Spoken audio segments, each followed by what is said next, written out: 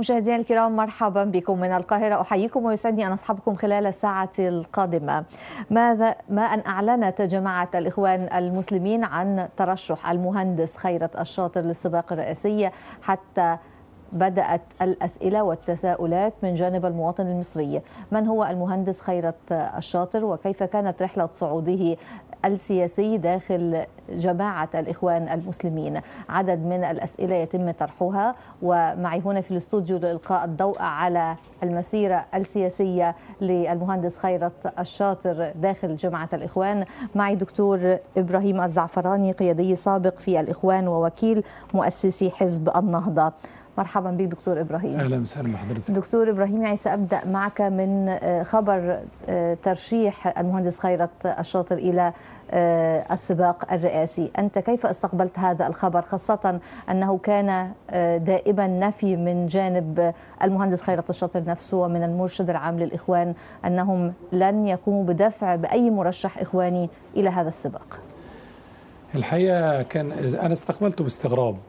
يعني لأنه كما ذكرت كان في وعود من الإخوان إن هم لن يرشحوا أحد لمنصب الرئاسة بالإضافة إلى إن السبب الأساسي والظاهر والواضح عندنا إن هم يعني فصلوا الدكتور عبد المنعم والفتوح أو أعلنوا إن هم أنه سحبوا عضويته بالتعبير اللي ذكره إخواني أنهم سحبوا عضويته بسبب أنه خالف قرار الجماعة وينوي الترشح حتى ما كانش يترشح يعني مجرد نية.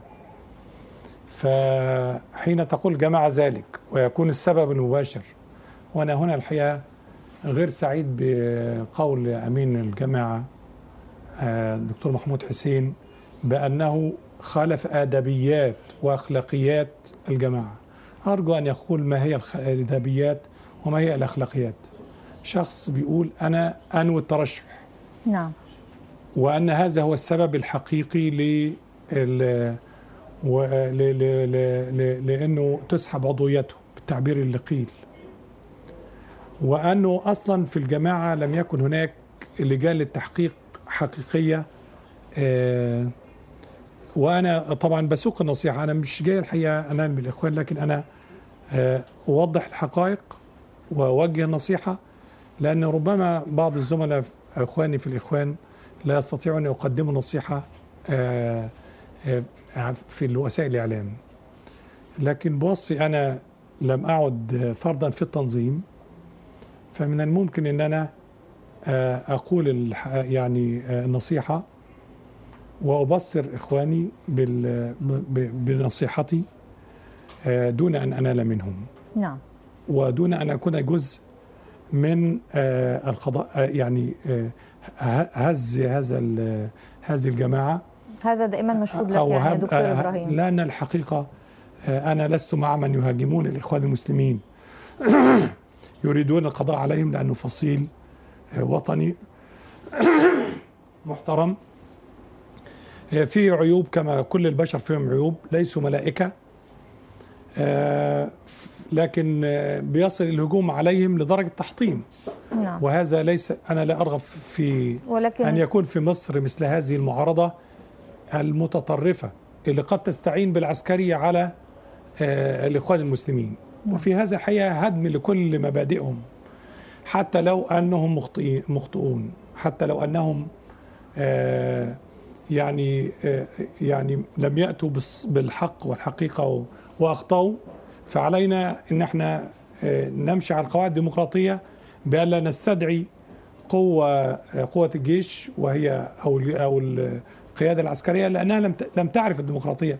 وليس وليس مطلوب منها أن تعيش حياة ديمقراطية. الجيش مهني عسكري انضباطي فلا نطلب منه أن يتعايش مع روح الحوار والديمقراطية. طيب يعني اذا بمنتهى الصراحة دكتور إبراهيم وبدون أي تجريح أنت ترى أن جماعة الإخوان أخطأت في مثل هذا القرار وأنت الآن تنصح. آه نعم. أنا لماذا تنصح؟ أنا أنصح يعني طبعا آآ آآ أنا تعلمت ان هو ترشح الدكتور الباشمهندس بعد ما وعدوا الناس بأنهم لن يرشحوا أحد. قالوا أن هناك متغيرات ولم توضح هذه المتغيرات والمتغيرات التي ذكرت غير مقنعة. وأنا طبعا بأسعى في وسط آه، آه، بلدي ووطني وخاصة في وسط آه، المتدينين منهم ووسط الإخوان منهم أن تكون لنا جميعا بصيرة وأن نحترم حين تساق لنا الأدلة. يعني ماذا تغير في في هذه الأوضاع؟ يعني بداية أنت تطلب أن يكون هناك توضيح آه، للأسباب أو أن تكون هناك أسباب مقنعة عدة بسبب يعني آه أس- يدفعوا الآن بمرشح أسئلة. الجمهورية. تغيير, تغير القرار بعد أن كان قرارا اللي ذكروه في المؤتمر الصحفي غير مقنع وكان من الممكن أن يواجهوا بيقولوا إحنا عاوزين لقينا مجلس الشعب وحده غير كافي لتحقيق الديمقراطية. وأن المجلس العسكري يعوق الديمقراطية ويتمسك بالوزارة. طيب هناك من المرشحين من هم مع الثورة ويستطيعوا أن يقوموا بهذا الدور. فلماذا أنا يعني أضيف لتفتيت الأصوات تفتيت أصوات إضافي مع أن عندي من الرجال آه الذين يستطيعون أن يقوموا بهذا الدور. الأمر الثاني وهو آه آه آه آه أن إحنا فوجئنا بأنه الباشمهندس خيرت آه ليس أمامه عائق قانوني للترشح. ولم ولم نسمع قبل ذلك إنه آه، رد له اعتبار لأنه ال- ال- القضية آه، هو لها مسارين القضية الأخيرة. القضية الأولى أخذ فيها رد اعتبار القضية المحكمة العسكرية بتاعت 96 نعم. ولكن أما- أما فيما القضية يخص الثانية 2008 فلم نعلم ماذا حدث فيها؟ هل تم طعن أمام المحكمة العسكرية العليا وأصدرت له حكم بالبراءة؟ ومتى؟ إمتى؟ ولماذا لم نسمع هذا؟ يعني التاريخ ده كان لازم يحصل فيه احتفال كبير جدا بإن الباشمهندس خالد الشاطر شخصية والأستاذ حسن مالك شخصيه شخصيات بارزة. فلو هل- كانوا خدوا براءة طب اسمح لي هل كنا هذا سمعنا. يعني آه، هل يدعي هو المجلس يستدعي العسكري. أن يكون هناك مجال للشك بأن آه، هناك صفقات بين المجلس العسكري وبين جماعة الإخوان؟ هذا ما يثار يعني في على صفحات الجرائد بسبب آه، مثلا ما تقول يعني إذا كان هناك عفو متى حدث؟ ولماذا لا يكون هناك مثلا احتفالية كبيرة بمثل هذا العفو؟ ما هو السؤال ده يجب أن يجاب عليه لأنه يعطي يعطي فرصة لمن يريد أن يقول أن هناك صفقة ان آه، عنده دليل وهو متى تم؟ إما العفو آه، عن العقوبة بقرار من آه، من المشير طنطاوي بوصفه إن هو يمثل رئيس السلطة التنفيذية الآن أو أن المحكمة العسكرية العليا أعادت محاكمته طعن وعادت محكمته وحكمت له بالبراءة هذا هذه علامة است- آه، استفهام يجب أن توضح لجموع الإخوان ولنا جميعا لأن هو بيترشح رئيس الجمهورية فيجب أن المصريين جميعا تعلم متى الباشمهندس خيرت أخذ آه، عفو نعم. أو أخذ براءة. ولماذا لم يظهر في حينها؟ لأنه ال- آه، الأستاذ أيمن نور لما اهتم العفو عنه علمنا جميعا أنه تم العفو عنه لأنها شخصية عامة جديرة بأن نعرف أخبارها ومرشح لرئاسة الجمهورية. نعم. فعلينا أن نعرف متى بالضبط حدثت. نعم. السؤال الثاني ال- ال- ال- الموعد اللي كان مقرر لاجتماع مجلس الشورى كان يوم الثلاثاء 3 4 قدم ميعاد ال- الاجتماع فجأة بقى السبت 31 3 ما هي أسباب هذا التقديم؟ لابد أن له أسباب. نعم. فهذه علامة استفهام أخرى. يعني إيه اللي خلاه يتقدم؟ إيه اللي حصل في الدنيا علشان خاطر يتقدم؟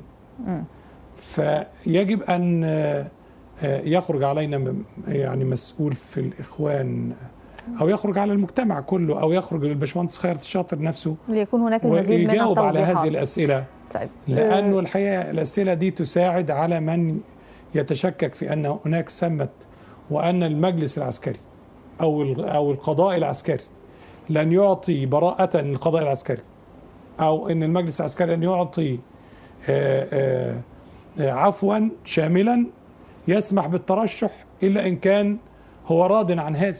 نعم. فالكلمات كانت الكلمات غامضة ال- ده جزء جدا مطلوب لرجل يترشح لرئاسة الجمهورية ومن حقي أن أترشح نعم. لرئاسة الجمهورية. طيب دكتور إبراهيم في النهاية هو بالفعل ترشح آه، إلى آه، هذا الم... أو يعني تم الإعلان أنه آه، سيكون هناك ترشيح له آه، في هذا المنصب. أنت عاصرت المهندس خيرت الشاطر على مدى الكثير آه، يعني آه، في داخل جماعة الإخوان آه، المسلمين. كيف صعد المهندس خيرت الشاطر إلى منصب نائب آه، مرشد آه، الجماعة؟ آه، هقول يعني بس أنا آه، أريد أن أكمل في ال- الباشمهندس ال- حزب الحرية والعدالة آه، كان من الواجب أن هو اللي يعني هذا عمل سياسي. وهم حصل استفتاء على الباشمهندس خيرت وكانت الأغلبية غير موافقة. ثم رجع على مكتب الإرشاد. آه، وحدث أجلوا لم يصلوا إلى حل في البداية. ثم أجلوا الاجتماع يعني لمدة عشرة أيام ثلاث اجتماعات. ماذا حدث من تغيير في في هذه الفترة أيضا يخلينا نوصل للنتيجة ديت بعد الرفض القبول. ماذا حدث؟ يعني مدة عشرة أيام مدة صغيرة يعني ما, ما فيهاش أحداث جديدة. آه أنا تصوري أنه آه مجلس الشورى داخل آه الإخوان المسلمين عاوز أقول يعني لإخواني وللمستمعين جميعا إن إحنا لما كنا بنصعد القيادات بتاعتنا آه، بما إن الإخوان المسلمين دعوة شاملة وعامة فكنا بنختاره بعضنا بيختاروا على أساس دعوي إنه شخص داعية بعضه بيختاروا على أساس إداري بعضه بيختاروا على أساس سياسي بعضه بيختاروا على أساس أبوي. فكان الاختيار الشامل كل واحد بيختار على إنه لأنه بي بي بيعمل في هذه المجالات جميعا.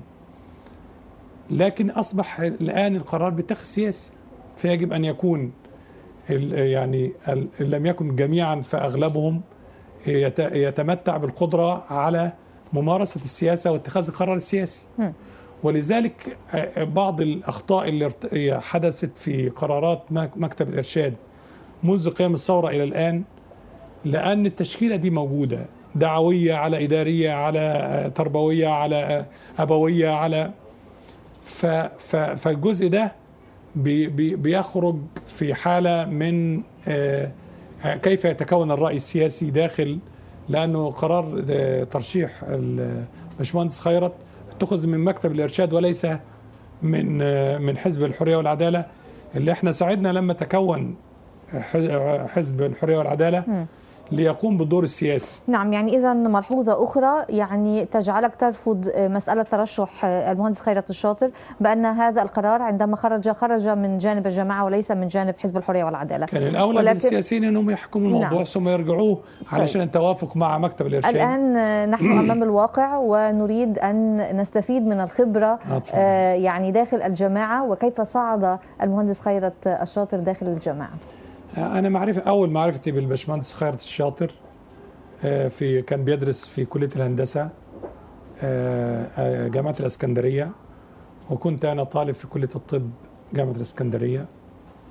وكان آه، عدد من آه، طلبة آه، المنصورة والمحلة آه، موجودين في كلية الهندسة وناشطين وقائمين بدور نشط بجانب مجموعة من ال- آه، من الإسكندرية آه، وكانوا دول آه، يعني بعد الباشمهندس خيرت سمعت إن هو كان في مظاهرات 68 مم. آه، بعد النكسة وإنه يعني تاخد من الجامعة وقضى جيش ثم عاد مرة أخرى ليكمل دراسته في كلية الهندسة جامعة الإسكندرية. المشهد اللي أنا بشوف فيه الباشمهندس خيرت الشاطر في وسط ال- العمل الإسلامي بعد ما بعد ما آه، آه، انتقل من اتجاه ال- الاشتراكي أو اليساري إلى اتجاه الإسلامي إنه كان فاعل في جمعية فاطمة الزهراء للطالبات. وإنه كان آه، بي- بي- بي- بي- بيأتي بالمحاضرين داخل كلية الهندسة ليلقوا المحاضرات على للطالبات المحاضرات الدينية أستاذ الدكتور محمد شوقي وآخرين آه، وهو الأستاذ الدكتور محمد شوقي كان أستاذ في كلية الهندسة وآخرين كانوا بي- يعطوا محاضرات آه، لجامعيه فاطمة الزهراء اللي كان بيشرف عليها الباشمهندس خيرت الشاطر. نعم. آه، ثم غاب عن عيني الباشمهندس خيرت الشاطر. آه، ذهبنا لزيارته في بيته على الأستاذ محمد حسين وآخرين. آه، ممكن في الثمانينات. آه، ثم يعني لا قبل الثمانينات يعني لأن في 81 إحنا قبض علينا في في التحفظ بتاع السادات في سبتمبر وسافر الباشمهندس إلى الخارج. نعم. آه، تقابل مع الأستاذ مصطفى مشهور تقابل مع مع بعض القيادات الإخوانية عاش معهم في أوروبا عاش معهم انتقل إلى اليمن. كل دي أخبار سمعية أنا ما لم لا لكن أنا ال- بذاكرتي آه، أرى الباشمهندس خيرت في في ملمح آخر وإحنا وهو انتخابات مجلس الشورى في يناير. 95 نعم طب قبل ذلك كانت هناك يعني قضية عام 92 التي عرفت إعلاميا وأيضا يعني عرف إعلاميا وقتها المهندس خيرت الشاطر بقوة آه، قضية سلسبيل. آه، يعني كيف آه، يعني تحكي لنا عن هذه القضية؟ هو الحقيقة كان في فترة من فترات بنحط خطة وخريطة لأن يكون عملنا يعني منظم محدد الأهداف محدد الوسائل محدد المجالات. وكان الباشمهندس خيرت على رأس المجموعة اللي في القاهرة وكانت في مجموعة مناظرة بتعمل آه، آه، أيضا آه، خريطة وبرنامج وخطة للعمل الإسلامي في هذا الوقت. وأنا يعني بالمناسبة لا يعني كان لازم في وجود الد- الدكتاتورية وعدم السماح لأحد أن تكون هناك جماعة حتى ولو لم تكن قانونية حتى ولو لم تكن لو لم تكن قانونية لأن الدكتاتور والظالم لن يسمح لأحد بأن يعارضه يعني ويعطيه شهادة بالمعارضة مم. فكانت المعارضة آه، بتنظيم الإخوان المسلمين كانت محقة و و وشاركنا جميعا في إن إحنا نعارضه و- ونتحمل المسؤولية على ذلك طب الآن سواء كان هل بالسجن أو طب الآن هل نحن يعني بصدد مشروع جديد لتمكين الإخوان؟ آه، أتصور إن الاخوان دلوقتي الفصيل الموجود ال- آه، ال- ال- المنتشر القادر على آه، أداء دور جيد لنقل البلاد إلى الحالة الديمقراطية. وعليه الحقيقة أن يبتعد عن الأخطاء والممارسات اللي فيها خطا لكن لا غناء عنه. آه، لكن الحقيقة عليه عليه أن يعلم وعلينا أن نعلم أن الانفراد أو الاحتكار بالسلطة يؤدي إلى الفساد والاستبداد. وانه علي أن أصنع أو أتيح للمعارضين أن يكون لهم تواجدهم ويبصروني بعيوبي. آه، فإذا هم بصروني بعيوبي وكنت أنا جاد في خدمة بلدي فعلي أن اصحح عيوبي. وإن نافسوني فعلي أن أقوي من قدراتي لكي أنافس أكثر. هم عايروني فاجتنبت المعاي- المعايب هم نافسوني فاجتليت المعالية. فإذا كان منافسة فالمنافسة جيدة لأن الاحتكار الحقيقة يؤدي إلى الاسترخاء يؤدي إلى الفساد يؤدي إلى الاستبداد في كل المجالات نعم وهذا أيضا من من الاشياء اللي أنا م- مش موافق عليها على ترشيح الباشمهندس خيرت إنه لو كانت الحكومة والمجلس الشعب السلطة التنفيذية والسلطة التشريعية الاثنين من اتجاه واحد أنا تصوري إنه ده هيؤدي إلى تهميش باقي طوائف طب المجتمع هل هذا أيضا ينطبق على الدكتور عبد المنعم أبو الفتوح؟ لا الدكتور عبد المنعم الفتوح لم يعد من الإخوان المسلمين مم. وسيحدث حالة من التوازن لو جاء بينه وبينهم يطلب أن مطلوب أن تكون هناك سلطة تنفيذية ليست معادية وليست متداخلة. نعم. لا هي حتى آه، لو كانت معادية س- ستظل نظل في صراع دائم ما بين مجلس الشعب وما بين السلطة التنفيذية وهذا يذهب بالب- بالبلاد إلى آه، أسوأ ما- مما نحن فيه. ووجود آه، تداخل ما بين السلطة التنفيذية والسلطة التشريعية يعيدنا مع الأيام إلى آه، إلى عصور أن أن تطغى فئة. نعم. أو طيب. فساد. من سيحاسب من؟ أنا هو وهو أنا. نعم. آه، قد يكون المرحلة اللي إحنا فيها آه، أفضل لنا من أن يأتي العسكري. بأن يأتي حتى لو فصيل واحد خد الاثنين. لو خيرنا ما بين لو كان ليس لنا طريق إلا الاختيار ما بين الخيارين فإحنا. لن نختار العسكري بالقطع لأن وجود العسكري آه، هو له دور محدد في حماية البلاد ومعه من القوة ومن السلطان ومن. ما يستطيع أن يقمع الآخرين أما وجود أي قوة آه، ليس معها سلاح وليست آه، معها القوة القوة البطش أنا تصوري أن إحنا من الممكن المعارضة السلمية أن تقاومها إذا هي حاولت أن أن تتجبر أو أن أو أن تعتدي على حقوق الشعب. نعم. طيب كيف يعني من وجهة نظرك كيف أثر هذا الترشيح على آه، فرص المرشحين الإسلاميين الآخرين؟ الساحة الآن أصبحت آه، فيها أشياء كثيرة يعني. فيها كلام عن ال- الأستاذ آه، حازم صلاح أبو إسماعيل آه، فيها كلام عن آه، السلفيين وهل هم هيقفوا مع الباشمهندس حازم أبو إسماعيل أو هيقفوا مع الباشمهندس خيرت أو هيقفوا مع الدكتور عبد المنعم؟ أو هل هم هينقسموا جزء منهم هيبقى مع الإخوان وجزء منهم هيبقى مع الباشمهندس حازم؟ آه، هل ستخرج مفاجآت أخرى للمرشح أمام المرشحين؟ أنا أتصور أن في الطبقة المثقفة الدكتور عبد المنعم أبو الفتوح منفتح عليها ممكن يكون حظوظه كبيرة. نعم فيما يخص أما في الطبقة الشعبية وال- والمناطق المختلفة هتتوقف على مدى وصول المرشح إليهم ومدى قوة حملته الانتخابية والأفراد المعاونين له ومدى آه، وصولهم للناس. لأن إحنا إحنا شعب طيب يعني ما بتفرقش معاه قصة ينتخب مين ولا ينتخب مين ما بيدورش قوي عليها. والثقافة شعبنا ما وصلتش للمرحلة إن هو يميز ما بين البرامج لكن هو حي حسب الشخص اللي بيحبه واللي هيقول له انتخب فلان. إن لم تنزل مسألة المال والفلوس الفلول بالفلوس لأنها مسألة مؤثرة أيضا لأن شعبنا فقير.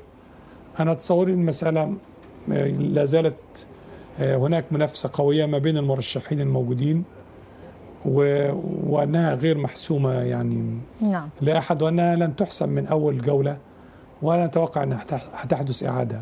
نعم طب فيما يخص بقى السمات الشخصية آه، للمهندس خيرت الشاطر قدراته التنظيمية قدراته الاقتصادية التي تحدث عنها الجميع حتى يعني يتحدثون أنه كان يدير آه، الجماعة آه، وهو داخل السجن أو يدير الملفات الاقتصادية للجماعة داخل السجن هل من الممكن أن تؤثر هذه السمات الشخصية على مسألة الترشح؟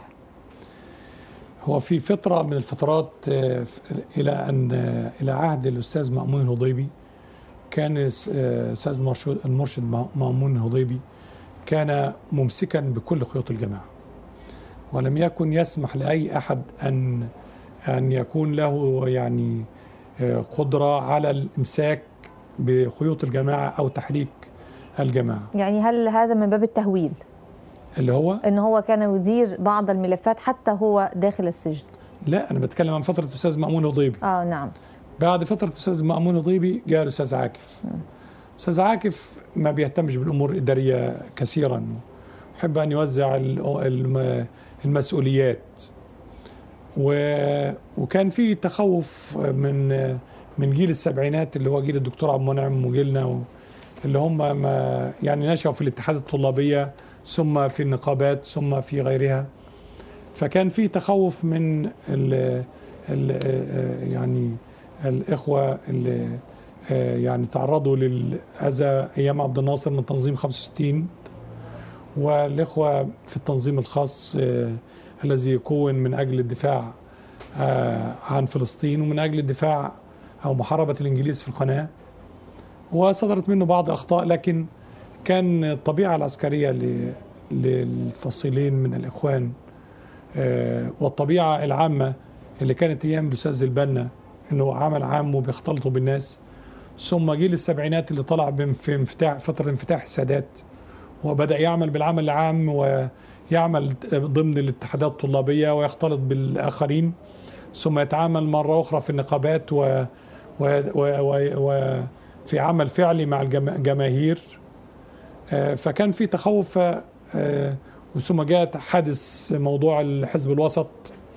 أوجد تخوف آه، كبير عند آه، الفريقين فريق 65 وفريق التنظيم الخاص من المجموعة ال- مجموعة السبعينات اللي خرج الإخوان لقوها عاملة زخم إسلامي في الجامعات كبير.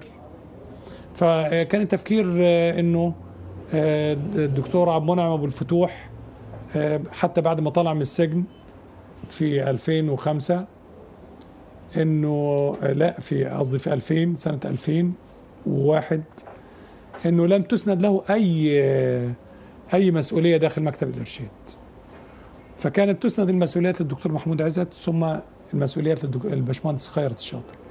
باشمهندس خيرت الشاطر في انتخابات 95 آه، تنافس على المقعد آه، في القاهرة كان في تسعة من القاهرة. آه، فكان المقعد التاسع. تنافس هو والدكتور محمود عزت على المقعد التاسع.